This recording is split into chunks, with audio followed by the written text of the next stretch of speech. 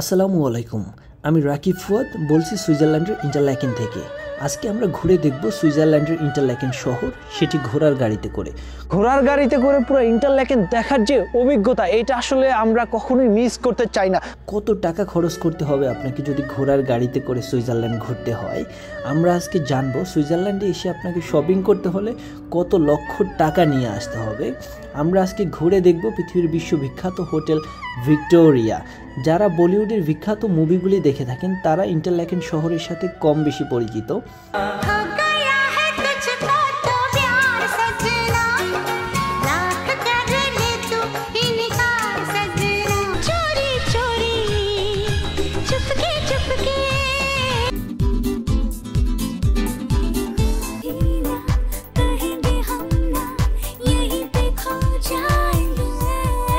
तेरे बिन नहीं लगता दिल मेरा ढोलना আর যারা না জানেন ইন্টারল্যাকেন সম্পর্কে তাদেরকে আমরা আজকে বিস্তারিত জানানোর চেষ্টা করব আমরা দেখানোর চেষ্টা করব সুইজারল্যান্ডের ইন্টারল্যাকেন কেন পৃথিবীর অন্যতম সেরা ট্যুরিস্ট ডেস্টিনেশন কেন এখানে সব বিখ্যাত বিখ্যাত মুভিগুলি শ্যুট করা হয় কেন বিখ্যাত মানুষরা এখানে এসে মাসির পর মাস কাটান কি আছে এই ইন্টারল্যাকেন শহরে আমরা সেটি আপনাদের সাথে শেয়ার করার চেষ্টা করব চলুন আমরা ঘুরে দেখি এই ইন্টারল্যাকেন শহর সেটি ঘোড়ার গাড়িতে করে।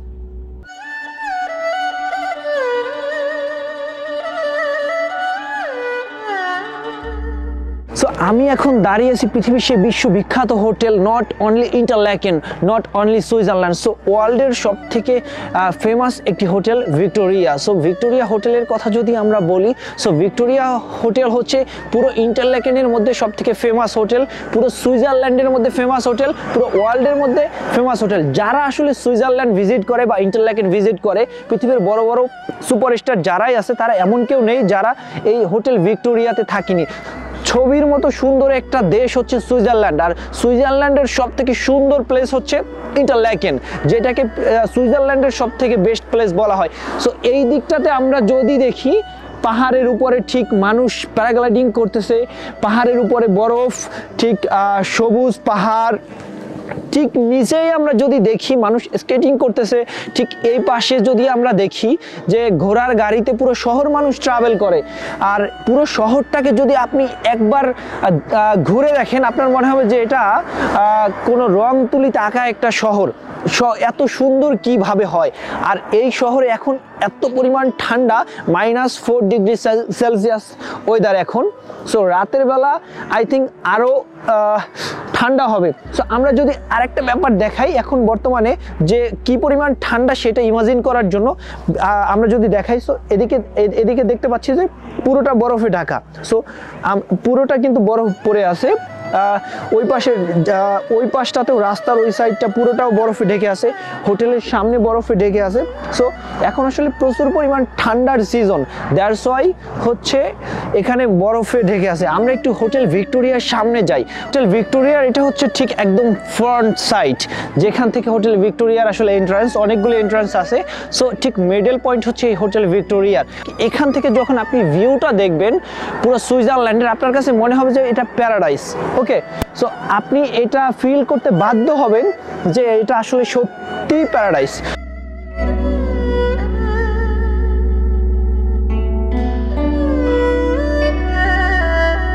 ভিক্টোরিয়া হোটেলের সামনে থেকে আমরা পুরো ইন্টারলেকেন শহর ট্রাভেল করব ঘোড়ার গাড়িতে করে। এটা হাফ অ্যান আওয়ারের জন্য টেন থাউজেন্ড টাকা, বাংলা টাকার।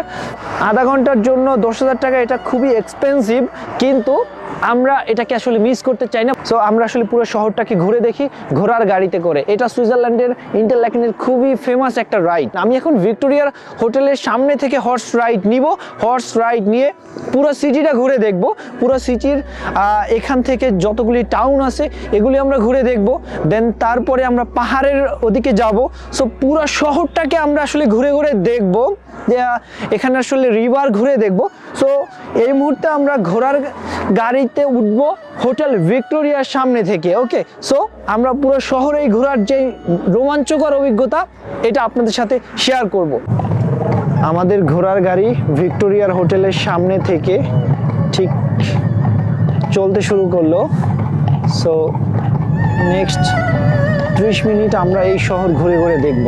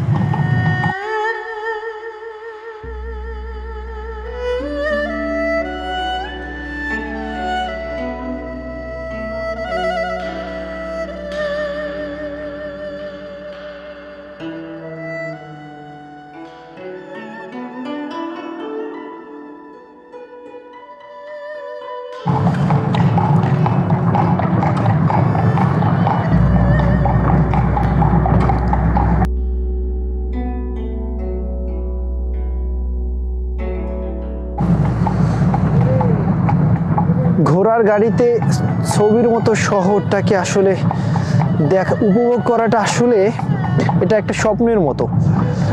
চারদিকে আসলে বরফ আর বরফ। সো ছবির মতো সুন্দর এই শহরটাকে ঘোড়ার গাড়িতে এনজয় করাটা আসলেই।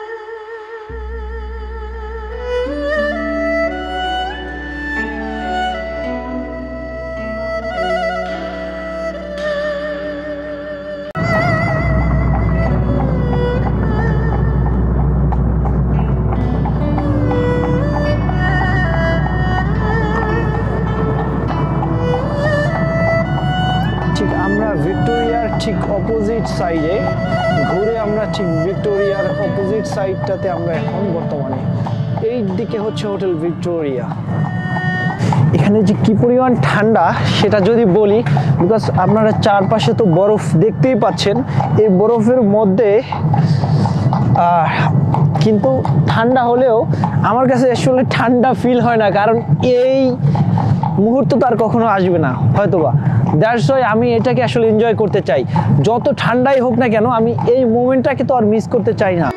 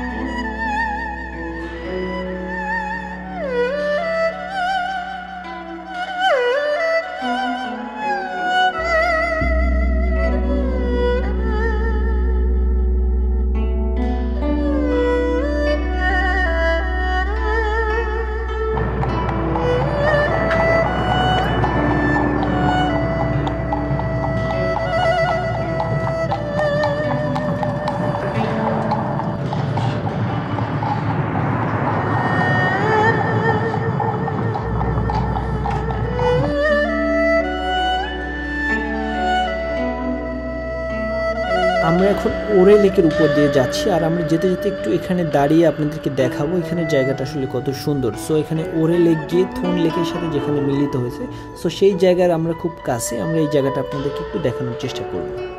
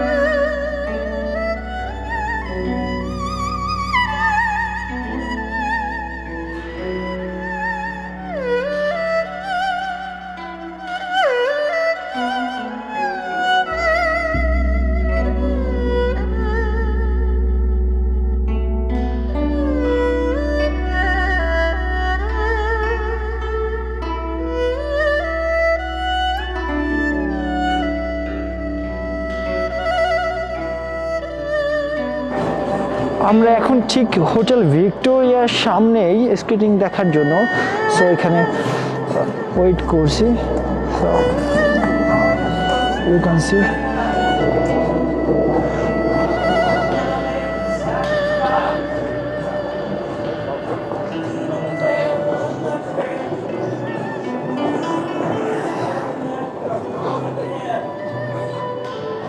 একটা রোলেক্সের শোরুম দেখতে পাচ্ছি আমরা।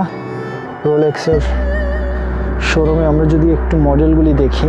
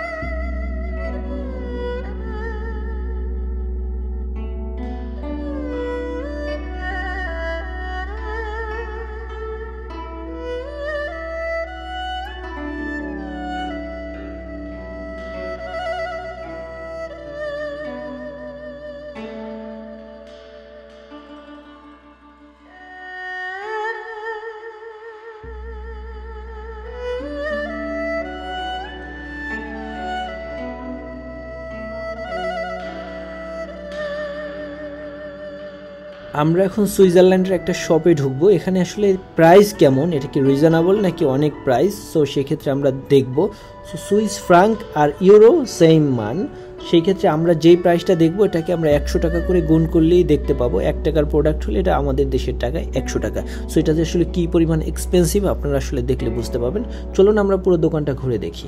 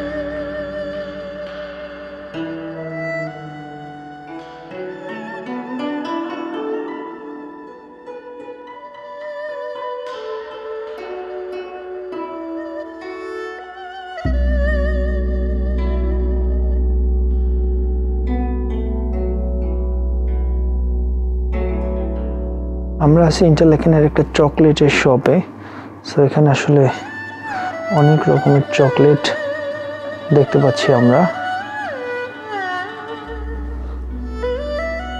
সো